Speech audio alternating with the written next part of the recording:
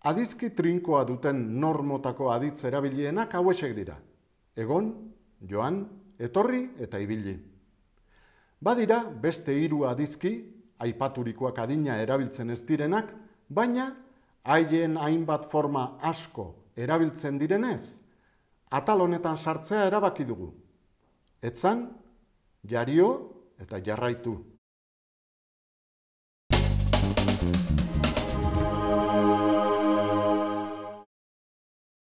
Ni haus nago, baina Iker eta Jon ez daude ados. Deitu zuenean, gorbeian geunden. Zuek ordea, etxean zeundeten. Giltzak jasotzea nire esku balego, lasaiago nengoke. Egon aditzaren nornori adizkiek esanaia bikoitza daukate. Ikus dezagun. Egon aditza irudipenak edo usteak adierazteko ere erabiltzen da. Tori koldo, arrazioa zenukan zuria da giltza, nire etxean daukat. Barengo emani. Aizu koldo, Xavier Platoan zegoela uste nuen. Ni ere horretan nengoen, ez aldakoan. Ni behintzat ez dut ikusi, ez sentitu. Eta ondo ondotik pasatu naiz. Joan egingo zen ezer esan gabe. Ez dut uste. Banengo emani, ezin zitekela izan Xavier joatea, miren etortzekoa da, bostak aldera.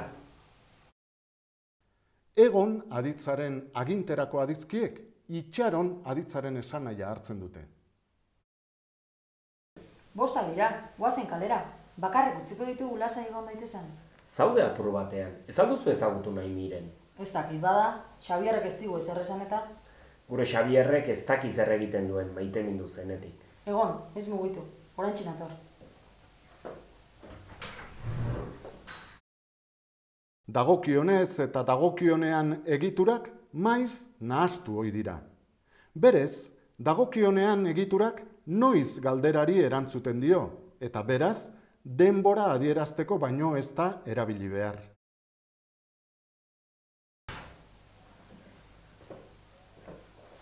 Izan diot, gaur duela aukera lagunak aurkezteko miren. Ah, ez zaizu inporta, ez da? Guri dagokigunez, ez dago arazorik. Hori bai, aurkezpenak egin eta kalera joango zarete, ez da? Bai, nik behintzat joan beharra daukat erosketak egitera.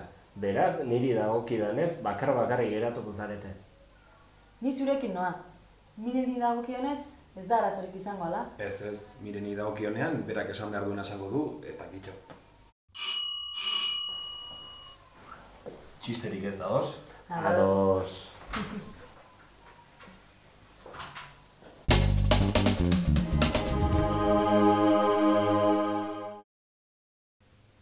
Ni oinez noa, Iker eta Jon autoz doaz. Deitu zigunean, gorbeiara gindoa zen. Zuek ordea, etxera zindoazten. Aitor, aitarekin balioa azpeitira, lasaiago nindoak lanera. Orainaldiko nor nori adizkiek aldaera bi dauzkate hirugarren pertsonan. Eskerrak egunero doakiola Iker bisitan. Bestela burua galduko luke. Eskerrak egunero dioakiola Iker bisitan. Bestela burua galduko luke. Langileak soldata igoera eskatzera doazkizunean, zer esaten diezu? Langileak soldata igoera eskatzera dioazkizunean, zer esaten diezu? Xabierrek esan dit, autoz doala. Antxe itxarango digula, atean. Xabier ikusi duzu ala? Bai, kioskoran indoan egunkari erostera, kasu egin didanean. Hitz egin alduzu berarekin. Bai, hitz egin dut. Zer moduz doakio mirenekin? Ara, gauza bat esango dizut. Hobete olioakioke, kasu gehiago egingo balio. Elkarrekin balioa zinemara, elkarrekin balioaz erosketak egitera, elkarrekin balioaz lagunetara, Ez gero berari esan, baina atzo, berta eta biok handerri proiektua ematera gindoazkion, miren autobusa hartzera zioala ikusi genuenean. Madrilera doan autobusa. eta Xabier eta miren gaur bazkari berezia ospatzekoak zirela. Arranopola, egia da. Haserretu egingo altziren.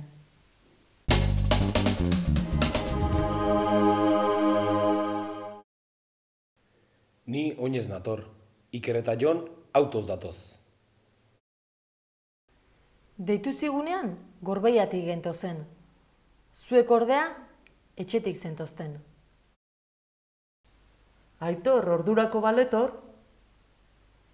ni ere ordurako nentorke lanera.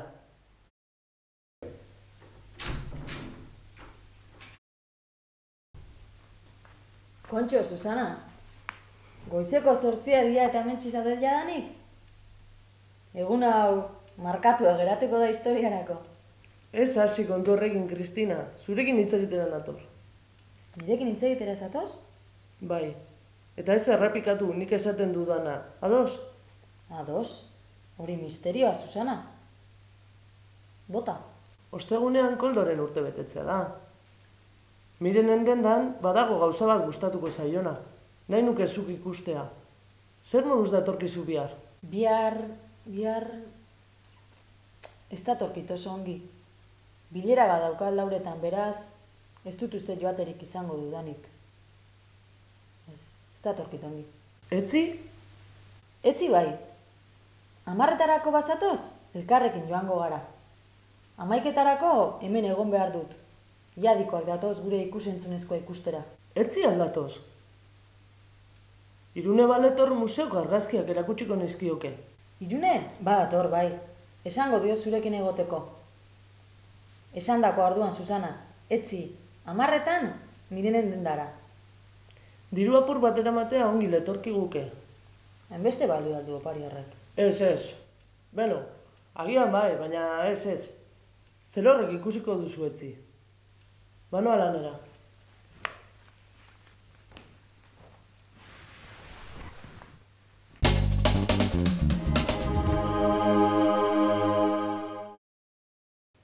Ni urduri nabil.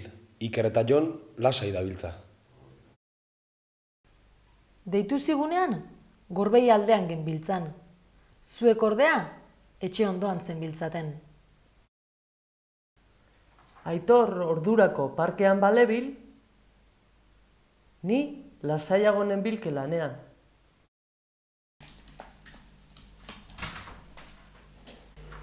Kaixo, Xabier. Kaixo, Kristina. Zertan zabiltza orain? Orain, beti bezala, lan bila. Eta lortu aldugu zerbait. Bi bezero dauzkat puri-purian. Donostian bat eta Bilbon bestea. Donostiakoa museo bat eraikitzeko asmotan dabil, eta harako ikusentzunezkoen produkzioa eskuratzeko aleinetan nabil. Bilbokoak, baino etxe batean pantalla erraldo bat jarri nahi du sarreran. Han proiektatzeko ikusentzunezkoen produkzioa gure esku jarriko duen kontratua sinatzera noa. Ikusten duzu, Xavier, lanez lepo nabil. Ikusten dut bai, ala jaina. Dena dela horrela ezpazen biltza gaixorik egongo zinateke. Kontxo, eh, antzian nuen, zer moduz dabilkizu auto berria?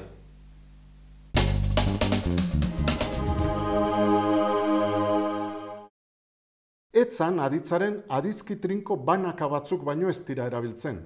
Beraz, bizirik dirauten adizkiak baino ez ditugu ikusiko ataltxo honetan. Txipiroien sekretua haren saltxan porru apur bat jartzean datza. Hemen datza Nikola Zormaetxea horixe. Goian bego. Ni iritsi nintzenean, lurrean zetzan konortea galduta. Txirrindularitza bizikletaren pedalei eraginez helmugara besteak baino lehenago iristean datza.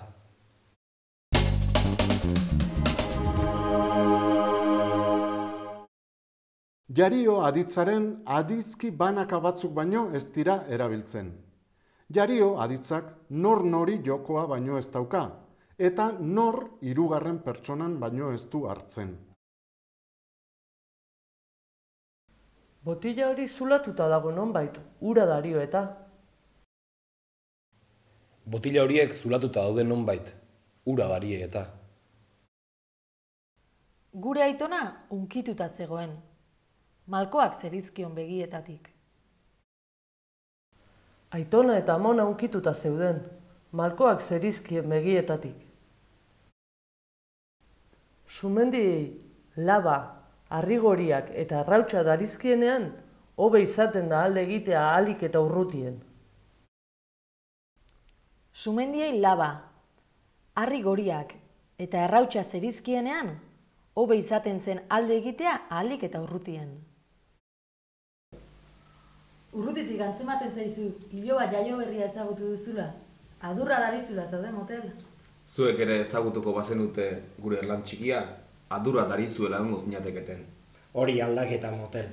Atzo zinegotziekin izandako bileratik sutan atera zinen. Begietatik tximistak zerizkizula.